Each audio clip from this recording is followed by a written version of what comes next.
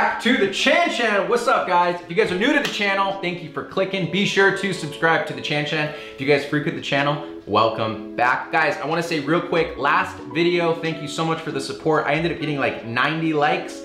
Thank you, that helps. I know it doesn't seem like it, but that really helps me grow, helps the channel, so thank you. So this week, I wanna do a giveaway, so you guys have a chance to win two t-shirts, Head and Heart t-shirts uh, from my clothing company. Also a supplement from True Wild. So all you have to do is simply like the video real quick and then comment your favorite activity that you do outside and that's an entry. So whether it's bike, swim, run, whatever it is, go ahead, like, and then comment, and boom, and I'll be announcing the winner next week. So, so far, solid morning, woke up, read, which I always do, did my Wim Hof breathing slash meditation. I've been really digging that. I'm gonna link that video that I do. It's just a follow along breathing if you guys wanna check it out. Did some dishes, did my journaling. Had my greens, solid morning. Okay, so let's get into today's video. It's been highly requested that I share my favorite workouts, specifically upper body workouts to stay in shape, lean, whatever you wanna call it, build muscle. I'm excited for today's video. It's gonna be a good one. I wanna keep the intro short and sweet. So be sure to subscribe to the Chan Chan. Go ahead and like it and comment for a chance to win some t-shirts and supplements. Let's go, baby. All right, favorite upper body exercises to stay lean. Uh, I just wanna preface this really quick. I don't wanna be misleading in any way. I don't want you to think that, oh, if I do these exact exercises, it's gonna make me look a certain way. There are many other variables, supplemental exercise, there is diet, there is the actual training program, so like how many sets, volume, all that. So today we're just talking about the movements. However, I do believe that these exercises will help in your training, whatever that is, and it's what I have been doing for as long as I can remember, so I wanna share them with you. Okay, so I thought the coolest way to do this is kind of just talk about each movement, what it is, why I like it, what it targets, and demonstrate the form. So here we go. First one is pull-ups. Obviously, pull-ups are, in my opinion, the best. If I could choose one workout to ever do again, it would just be pull-ups simply because it targets so many muscle groups. I always like to do wide pull-ups. I keep everything very tight. I try not to arch my back and I try to squeeze my glutes, squeeze my quads together and go slow and get full range of motion. So coming all the way up, chin over the bar and then going back down. And the cool thing is with pull-ups, you have so many different variations. So you can do wide grip pull-ups, you can do chin-ups where you flip your hands over and it's targeting more of your bicep.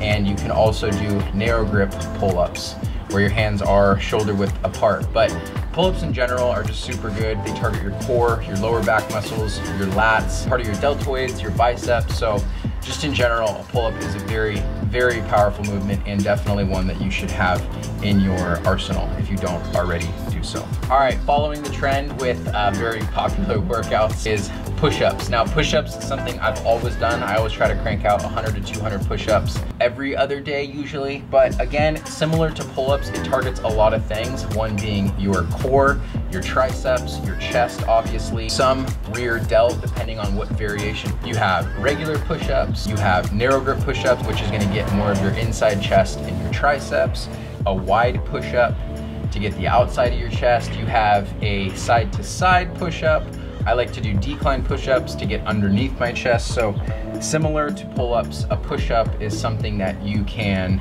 you can kind of go crazy with. There's a ton of variations that you can do. If I want something a little more high intensity, which would be the power push-up where you simply kind of drop down like you're doing a burpee, but you do a full push-up and then you kind of just launch yourself up. This is good, it just gets your heart rate up. It's more of like a HIIT workout almost.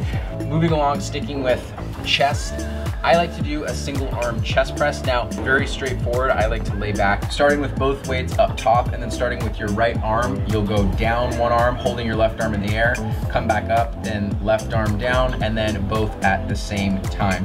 And I find this is just better. It helps me isolate kind of one pectoral muscle at a time and then getting both and it just takes more control. And it, you'll notice with a lot of the movements that I do, I like to do things that are very functional and that include more than just the muscle that you're working itself. For shoulders, there's so many I could have chosen from, but the two that I find I'm doing the most in my workouts would be one, the Arnold press and two, the flies. So starting with the Arnold press, this is pretty simple. I like to do it sitting down. I find I have a little bit more control and it takes that arch out of my back. You just start with the weights at 90 degrees right in front of your face and you'll just rotate them up and turn the weights out. So this is getting that front deltoid as well as the side. I've always done these, I love them. And it even gets part of that front pec muscle. So this is a movement I've always done, I love them, and I'll always keep programmed in my workouts. Next up is flies. You can do shoulder flies to the side, so lateral, or you can do front. This is me demonstrating the lateral movement here. So a lot of times you'll see people with two at a time. I like to do one at a time and just grab the edge of something, lean out, and really target that delt that way. I find it, my form is a lot better rather than doing two weights at once. Next up is thrusters. Now I know this isn't really like just an upper body movement solely. There is some legs in this, but it's working large muscle groups. And by working large muscle groups, you're keeping that heart rate elevated. So you are in uh, maybe an anaerobic state during your lift. And it's good to just have those exercises in your program that get your heart rate up. And so this is really simple. It's just a squat, really getting low and then coming up with those weights and raising them above your head. It's a great movement, targeting lower body, and then you're also targeting your upper body. So shoulders, triceps, great movement. All right, so the last upper body muscle group that we're gonna talk about is abs. I'll do a separate video on like a follow along ab video. Let me know if you guys wanna see that. But some of my favorite movements that I like and the ones that I find myself doing the most are gonna be uh, hanging ab raise, flutters, and V-ups. So hanging ab raise, super simple. You just need a pull-up bar or something to hang from. Keep everything in control, keep your core tight, and you just slowly raise your legs up and then bring them back down. And this is super, super good for your core and developing those abdominal muscles. Flutter kicks, a really basic movement, but also a really powerful movement. Um, I like to do them in between sets if I'm working out. I like to just throw them in randomly. Sometimes I'll just do them if I'm cooking dinner, I'll just start doing flutter kicks because it's just so easy. You just simply get down, raise your legs about six inches off the ground and you just flutter up and down, up and down. And you can do it for time. You can do like 30 seconds or you can do it for reps. So sometimes I'll just do 10 sets of 50 reps of flutter kicks. And again, one of my all-time favorites. And then finally is V-ups. These ones are gonna be a little bit more difficult, but same idea. You're gonna have your feet raised off the ground just a tad and then kind of balancing on your butt. And then you're gonna bring both parts of your body up. So you're sort of a hinge in the middle at the waist and you're gonna raise your feet up and your upper body up and then come back down. So you're making like a little folding it's just good for the entire abdominals. All right, and then finally, an exercise that I love. This is a lot of upper body. Some of you guys might not have access to battle ropes, but I just got these and I love battle ropes because it's just like super high intensity. It gets the heart rate jacked up and you're working so much of your biceps, triceps, shoulders, core, everything's tight. You're getting down low and it's just super good to have. I think it's great if you're doing a workout where it's a lot of just functional, steady state movements. Mixing in battle ropes in between sets is good to get your heart rate up and then go into your pull-ups or push-ups and then take a break and then go back into battle ropes. But battle ropes again is super rad because you can do little movement with the battle rope, you can do doubles, you can kind of just get very creative with it.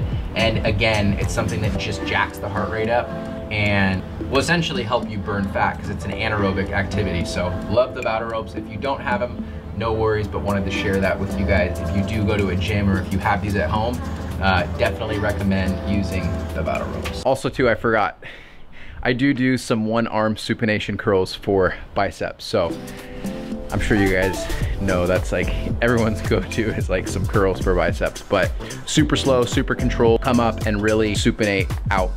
So you get that interior bicep super good. Also, this is my bike and the bike trainer. I thought I'd film this little section here, but I hope you guys enjoyed that. Again, those are not all, but some of my favorite upper body exercises, as well as some high intensity um, movements that I like to do and that I find myself always programming in any workout I do out here or if I were to be outside and program some type of workout, I would find 70% of those movements um, in my workout. So try them out. I'm gonna link them in the description all below so you guys have them. But yeah, give them a shot, incorporate them in your program. I think they will help tremendously.